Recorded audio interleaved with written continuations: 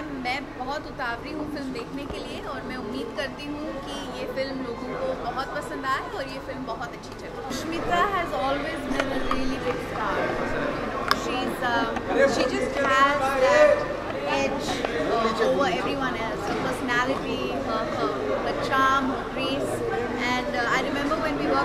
रही has always